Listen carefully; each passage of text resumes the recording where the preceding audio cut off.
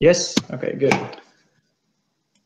Here we are. Well, um, I'm Kasper Spaan, uh, working for Waternet, the Amsterdam-based uh, water cycle company. Yeah, and, and my name is Jan Boxem, and I'm working for the uh, program called Amsterdam Rainproof, which is a program initiated by the, uh, the uh, Waternet or the Water Board of Amsterdam. Um, and before we uh, uh, will elaborate on the project we're doing with the Things Network right now uh, concerning the smart micro water management, uh, we'll briefly uh, discuss uh, the problem statement at hand. Um, well, we're facing climate change. Um, we're not discussing that. we see densifying of cities, um, and that's the challenge at hand. Uh, and in those cities, we see uh, roughly uh, a 60-40 percentage in public and private space.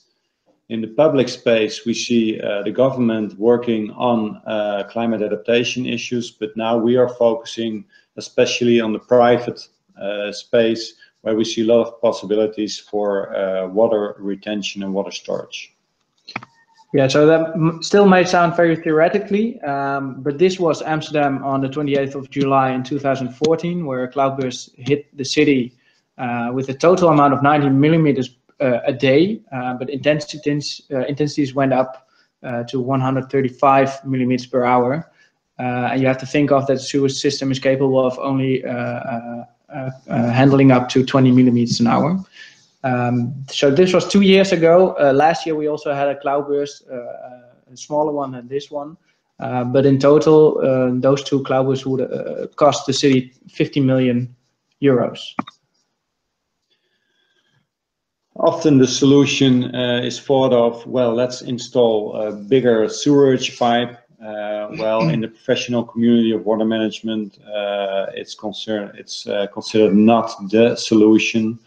Uh, we should aim for more sponge-like cities where uh, the whole surface area of the city is working for optimal water management. Uh, one of the first uh, uh, pilots where we learned the capabilities of micro water management was the polder roof. it was a water storage facility underneath the green roof as is shown. Um, and one of the uh, remarkable innovations we added uh, was a valve-like uh, system that could control the water level underneath uh, the green area. Yeah, and, and the idea of this polder roof is that um, uh, we're able to uh, contain the, the, peak intensities of, of cloudbursts uh, and can discharge them at a later moment uh, whenever it's uh, dry for a couple of hours already. Um, and yes, these innovations are going on, um, um but it gets really interesting whenever you can uh, uh, connect those those standalone smart smart micromanagement systems um, with each other or with uh, the cloud, and, and that's where the Things Network uh, uh, walks in. Uh, we found each other, and because if you want to connect them, you, you'll you'll need this digital platform that is able to allow for plugging in different kind of systems um, handling all the data and also uh, um, steering your rainwater.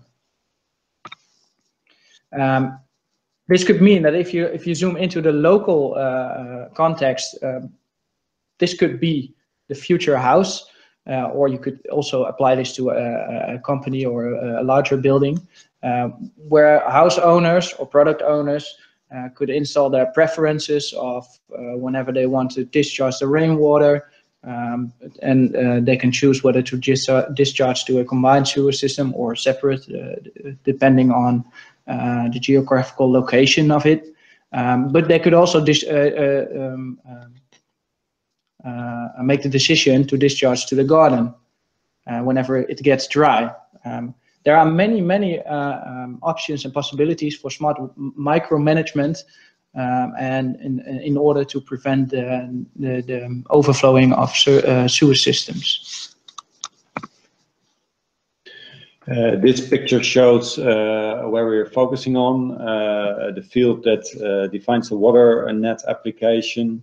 We see that a lot of uh, product owners uh, or product developers are working on, on, on smart micro systems. We see smart rain barrels. We see smart polder roof systems. Um, and uh, our challenge is uh, to create uh, an application that can connect with all the different devices. And then when we use weather forecast and can um, uh, can foresee uh, storm uh, stormwater events coming up, we can create maximum storage capacity in those systems. And uh, so that's where we are at with the Things Network right now. So we're developing this. Uh, so the Things Network is developing this CPaaS platform, the City Platform as a Service. Uh, and on top of that, we're uh, creating this use case of WaterNet application. Um, and yes, there are still many, many uncertainties, many questions uh, to be uh, answered. Um, so about the, the, the data, the privacy, etc. Um, but what we also uh, at the same time see is that there are many contextual uh, market developments um, um that could allow for uh, um, more demand on those water systems, such as uh, tax differ uh, differentiation or uh, the so-called water neutral building envelope, um, which obligates developers to retain their own rainwater at their own plot.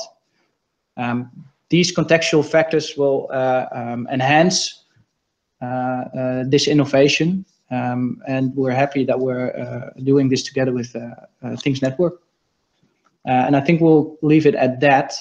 Um, so if there are any questions, feel free. Feel free. All right, great. Thanks a lot. Um, I think this is another very good example um, for like this technology for being used. I think it's also mainly outdoor applications. Um, yeah, yeah. technology is mainly suitable. Uh, yeah, it's, more on the conceptual uh, level. Um, but I mean, we're we're developing this in Amsterdam now, but uh, in, in, different cities around the world, uh, they're facing the same problems. Uh, so this technology could also enhance their uh, ability to to solve the rainwater issues. Yeah, yeah. And um, to be clear, can you like can you elaborate a little bit more on like this this micromanagement? Is it something I should have on my roof myself in maybe a year from now? Uh, maybe not in a year, but uh, we're working with uh, uh different uh, uh, product developers to create a market for such microsystems. Um, why would you want one? Why would you want a smart rain barrel uh, next to that it's very uh, fancy, of course.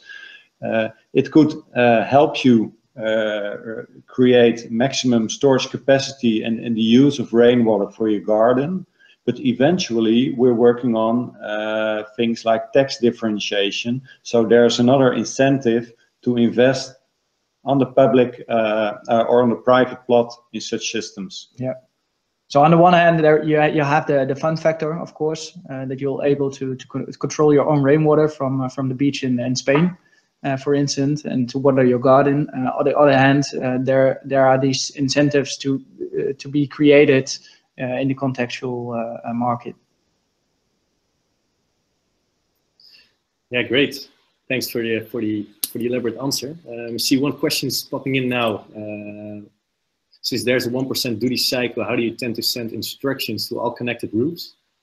We're still working on um, uh, the, the, autonomy of the systems themselves. Uh, if they are um, uh, a bit smart themselves, they don't need uh, a continuous data feed uh, if they're working or not. So that's why how we uh, try to keep the data down. Nice.